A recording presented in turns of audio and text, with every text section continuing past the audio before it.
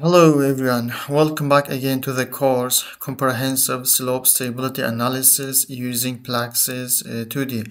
This is tutorial number 11, Slope Stability Analysis of Multi-Layered Soil using Plaxis 2D. So as you can see in this uh, figure, we have a slope geometry uh, which consists of uh, three different soil layers uh, from uh, dense sand at bottom and medium dense sand in the middle and also uh, soft clay here at uh, the top. Also we have a surcharge load which is uh, 15 kilonewton per uh, square meter.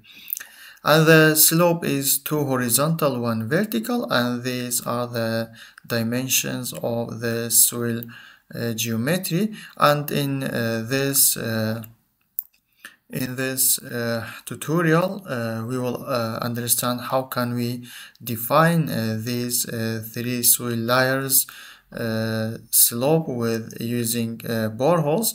And also we will define the materials using Mohr Coulomb model for these three soil layers. And as a previous lecture we will estimate the factor of safety and identify the critical failure surface for this slope.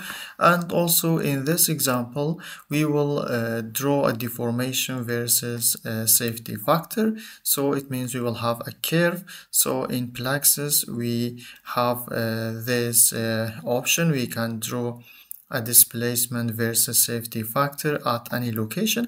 So we will do at the tree of the slope which is most critical uh, failure point of the slope. So I will uh, copy the title of uh, this uh, lecture and I will open the Plaxis software.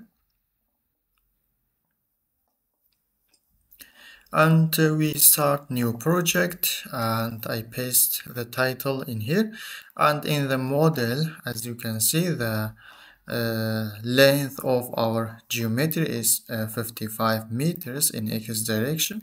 So we let x minimum as 0 and uh, uh x max as uh, 55 and y minimum is 0 also and y maximum.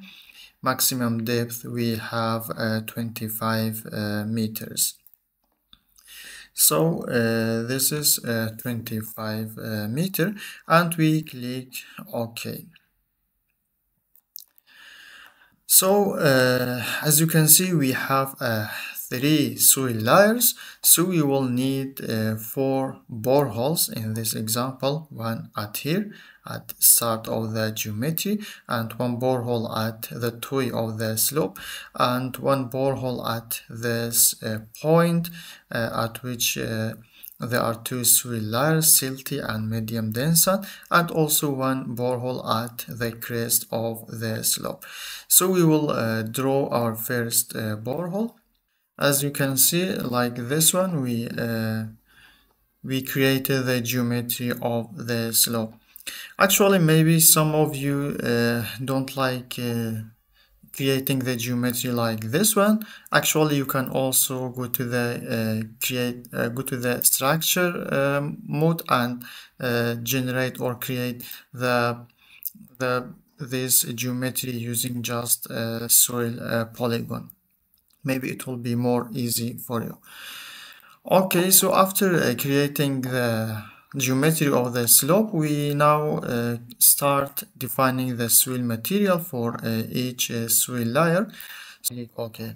As we can see there's a deformation and safety factor in y direction and the factor of safety increases up to 1.5 as the deformation increases and uh, after that it drops uh, to about uh, 1.41 and uh, it remains uh, constant after that.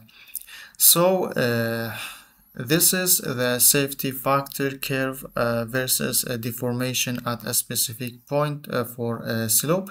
Sometimes maybe these maybe you can get only until uh, something uh, like here at this location or this one. You uh you you maybe you don't get these uh, constant lines. So in this case maybe in safety analysis click on edit phase. And uh, in here we have uh, something called uh, steps.